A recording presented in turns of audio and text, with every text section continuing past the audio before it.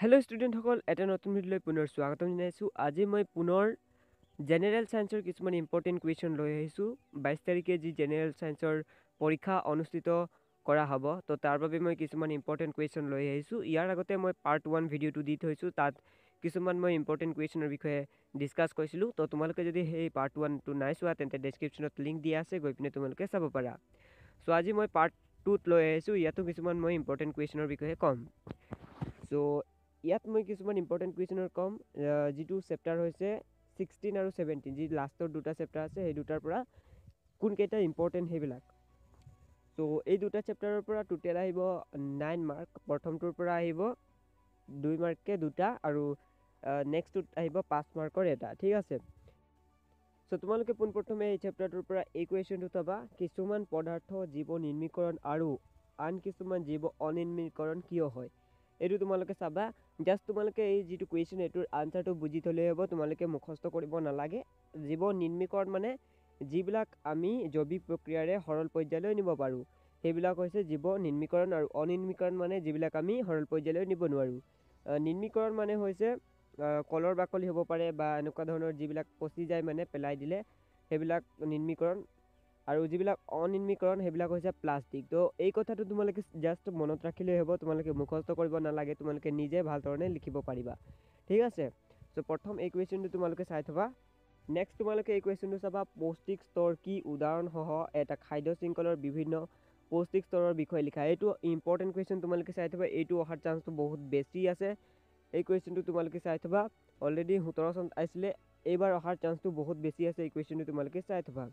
তাৰপিছত নেক্সট এইটো চাই থবা পৰিস্থিতি তন্ত্ৰত বিয়োজকৰ ভূমিকা কি? এই দুটা চাবা এইটো টু মাৰ্কৰ কাৰণে আহিব ওপৰৰটো চাৰি মাৰ্কৰ কাৰণে আহিব পাৰে তলৰটো টু মাৰ্কৰ কাৰণে আহিব ঠিক আছে?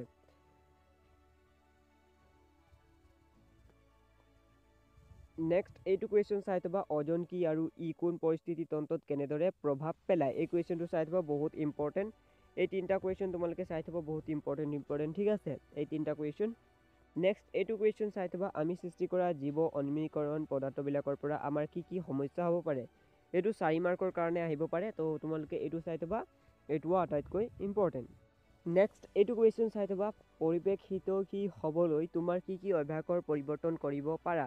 চাৰি মাৰ্কৰ কাৰণে এইটো আহিব পাৰে তোমালোকে এইটো চাই থবা এই কুৱেশ্যনটো ইম্পৰ্টেণ্ট কুৱেশ্যন নেক্সট এইটো কুৱেশ্যন চাবা জীৱাশ্ম ইন্ধন কি? এইবিলাক ইন্ধনৰ দহনৰ ফলত হোৱা অসুবিধাসমূহ উল্লেখ কৰা। এই কুৱেশ্যনটো ইম্পৰ্টেণ্ট সোতৰ চনত অলৰেডি আহি গৈছিলে এইটো চাই থ'ব বহুত ইম্পৰ্টেণ্ট কুৱেশ্যন তাৰপিছত এক নম্বৰৰ কাৰণে এইটো আহিব পাৰে। বৃহৎ নদীবান নিবাৰৰ লগত জড়িত থকা সমস্যা এটা উল্লেখ কৰা বা এইটো চাৰি মাৰ্কৰ কাৰণেও দিব পাৰে। কেনেকৈ? চোৱা ইয়াত লিখিব লাগিব চাৰিটা সমস্যা লিখিবলৈ তোমালোকক ক'ব পাৰে যে বৃহৎ নদীবান্ধ নিৰ্মাণৰ লগত জড়িত থকা সমস্যা চাৰিটা উল্লেখ কৰা। ইয়াত এটা দিয়া আছে তো তোমালোকে চাৰিটা যিমান পাৰা সমস্যাসমূহ চাবলৈ চেষ্টা কৰিবা। ইয়াৰ চাৰি মাৰ্কৰ কাৰণেও এই কুৱেশ্যনটো আহি যাব পাৰে। তাৰপাছত তোমালোকে নেক্সট এইটো কুৱেশ্যন চাবা। তুমি এজন সাধাৰণ ব্যক্তি হিচাপে বিভিন্ন ধৰণৰ প্ৰাকৃতিক সম্পদবোৰৰ ব্যৱহাৰৰ কম কৰিবলৈ কি কৰিবা? এইটো চাৰি মাৰ্কৰ কাৰণে আহিব পাৰে এইটো তোমালোকে চাই থবা। তাৰপাছত নেক্সট এইটো কুৱেশ্যন চাবা।